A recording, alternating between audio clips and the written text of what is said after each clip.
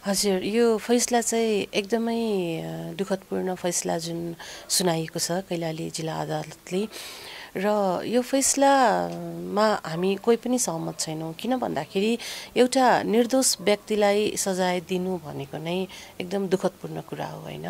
रेशमजी निर्दोष हुनुहुन्छ। हुन त सबै परिवारले आफ्नो परिवारको सदस्यलाई निर्दोष नै देख्छन् तर पनि उहाँलाई चाहिँ पारिवारिक हिसाबले मैले मात्र निर्दोष होइन कि उहाँको आफ्नो जुन कैलाली क्षेत्र नम्बर एकका जनताहरूले नै रेशम निर्दोष छ है भनेर जुन निर्वाचनमा चुनेर पठाउनु भयो होइन? यो कुरालाई पनि सायद सरकारले गौर गर्नुभएको भए सरकारले विचार गर्नुभएको भए रेशमजीलाई निर्दोष नै देख्नुहुन्थ्यो र अर्को कुरा जुन सरकारी प्रतिवेदन पनि निस्किएको छ नि टिकापुर घटनाको त त्यो घटनाको सरकारी प्रतिवेदनलाई पनि सार्वजनिक गरिदिनु भएको भए राम्रो हुन्थ्यो। जो व्यक्ति घटनास्थलमा नै छैन उसलाई दोषी भनेर कसरी प्रमाण गर्यो होइन? निर्देशन थियो र योजनाकार हो भनेर जुन भनिरहेका छन् होइन यो पनि होइन। यो पनि एकदमै गलत कुरा हो। किन भन्दाखेरि योजनाकार हुनलाई योजना बुनेर ए हामी यसो गर्नुपर्छ है यसो गर्दैछौँ भनेर योजना बनाएर घटाइएको घटना भए होइन। उहाँ योजनाकार उहाँलाई योजनाकार बनाउन राम्रो हुन्थ्यो। त्यो बेलामा त हामी काठमाडौँ नै थियौँ नि। भदौ दुई हजार बहत्तर साल भदौको सात गते जुन घटना घट्यो त्योभन्दा एक दिन अगाडिसम्म हामी रेशमजी म हाम्रो फ्यामिली सबै हामी पशुपति आर्यघाटको आर्यघाटमा थियौँ किन भन्दाखेरि मेरो दाईको त्यो बेलामा देवसान भएको थियो त्यो हामी दुःखद घटनामा थियौँ होइन। त्यो बेलामा हामी त्यहाँ हुँदाखेरि उहाँ एक दिन अगाडि मात्रै त टिकापुर कैलाली जानुभएको थियो।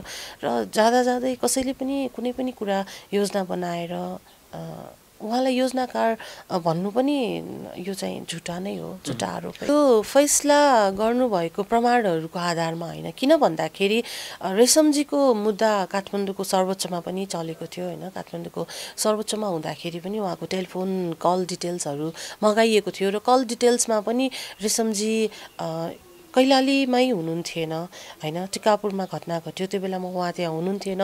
त्यो कल डिटेल्सले पनि उहाँलाई बर्दियामा देखाइरहेको थियो। यो प्रमाणहरू कहाँ गए त? के यी प्रमाण होइनन् र?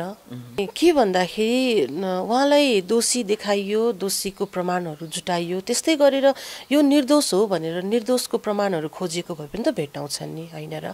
मैले अघि नै पनि भने जुन सरकारी प्रतिवेदन छ सरकारले प्रतिवेदन त निकालेको छ नि।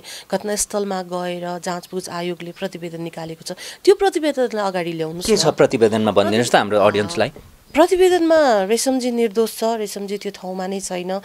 त्यहाँ घटिएको घटना चाहिँ राजनीतिकरण हो भनेर त्यो प्रतिवेदनमा भनिएका छन् होइन? त्यो प्रतिवेदनलाई अगाडि ल्याउनुहोस्। जसरी यो दोषी हो यो दोषी हो भनेर प्रमाण नभएको प्रमाणहरू जुटाए त्यस्तै निर्दोष साबित गर्नको लागि नभएका प्रमाणहरू होइन भएकै प्रमाणहरू अगाडि ल्याएर निर्दोष साबित गरिदिनुहोस् न। पक्कै पनि उच्च अदालतबाट हामीले न्याय पाउँछौँ र पनि मेरो भनाइ हाम्रो भनाइ पनि यही छ घटना घटेको छ होइन? पक्कै पनि मान्छेहरू मरेका पनि छन्। निर्दोषलाई सजाय दिनुभन्दा दोषी को हो त। दोषी खोज्नुहोस् दोषीलाई समात्नुहोस् न। होइन र? जसले यो घटना घटाए जसले चाहिँ नि यो गरे हत्या गरे आगो लगाए भने तिनीहरूलाई खोजेर तिनीहरूलाई कारवाही गर्नुहोस् न।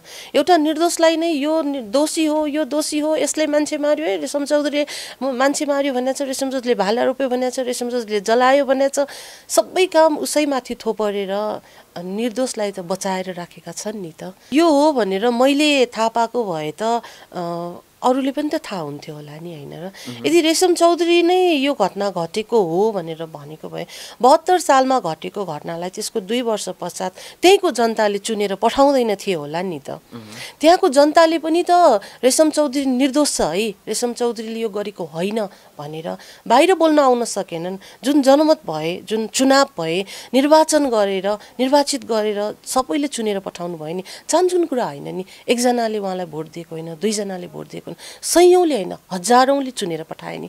चौतिस हजारजनाले चौतिस हजार तिन सय एकचालिस सदर भोट मात्र हो नि। त्यसमा त बदर कति थिए कति थिए। उहाँलाई त धेरैजनाले निर्वाचनमा चुनेर ए रेशम चौधरी निर्दोष छ भनेर भनेर पठाउनु भएको छ नि त। यो कुरालाई पनि त बुझ्नुपर्ने हो नि न्यायालयले। यो विषयमा बोल्नु पर्दाखेरि अदालत र सरकार फरक फरक विषय हो भने अदा अदालतको फैसलाबाट छुट्नुभएका सिके रावतजीलाई एक दिन पछाडि राष्ट्रिय सभागृहमा त्यति ठुलो कार्यक्रम गरेर किन अँगाल्नु भयो त? त्यो त अदालतले गरेको फैसलालाई फेरि सरकारले अँगाल्नु भएको होइन र। देश टुक्र्याउँछु भनेर हिँड्नु भएको सिके रावतजीलाई चाहिँ होइन भनेर अँगालो हाल्ने। रेशमजीले त देश टुक्र्याउँछु भनेर हिँड्नु पनि भएको थिएन नि होइन? एउटा आफ्नो जातीयताको लागि आफ्नो पहिचानको लागि केही गर्छु भनेर हिँड्नु भएको मान्छेलाई ए यसले मान्छे नै मार्यो यो अपराधी हो भनेर अहिले जेलमा कोचेर पनि त राख्नु भएको छैन नि। यो त यी कुरा त जनताले पनि बुझ्नुहुन्छ नि होइन?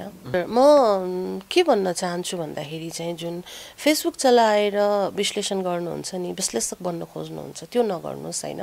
देश विदेशमा बसेर फेसबुक चलाउनुहुन्छ अनि यसलाई हत्यारा भनेर एउटा फोटो राखिदिएर क्याप्सन लेखिदिएपछि ए यो त हत्यारा रहेछ भनेर कमेन्ट गरिदिनुहुन्छ गाली गरिदिनुहुन्छ।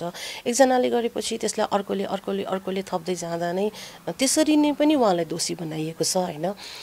एक्चुली बरु त्यस्तै विश्लेषक बन्न चाहनुहुन्छ भने जुन ठाउँमा घटना घटेको त्यहाँ पुग्नुहोस् त्यहाँ पुगेर बुझ्नुहोस् होइन सर्वसाधारणको कुरा सुन्नुहोस् घटना घटिएको ठाउँमा जानुहोस्। रेशमजीले घटना घटाइए पश्चातका घटना पनि घटिएका छन्। नि ती घटनाहरू के अगाडि आए त? होइन र सात गतेको जुन घटनाको कुरा गर्छौँ हामी मान्छे मऱ्यो मान्छे मऱ्यो भन्छौँ त्यो घटनाको दोषी पत्ता लगाउनुहोस्। र त्यस पश्चातको घटनाको दोषी चाहिँ कसले पत्ता लगाउने त? कतिपय चेलीबेटीहरू बलात्कृत भएका छन् नि छैनन् र उनीहरूको आवाज खै त अगाडि आएका? होइन सात गतेको घटना पश्चात आठ गते कर्फ्यू लागेको बेलामा थारूहरूका घर थारूहरूका पसल थारूहरूका सम्पत्ति जलाइए लुटे त्यसको त्यो घटना पनि त सायदै बाहिर आउँछन् होला नि। त्यो घटनालाई पनि बाहिर ल्याउनुहोस्। विश्लेषक बन्नुहुन्छ विश्लेषण गर्नुहोस् होइन तर सम्बन्धित व्यक्ति सम्बन्धित ठाउँमा पुगेर गर्नुभयो भने धेरै नै राम्रो हुन्छ।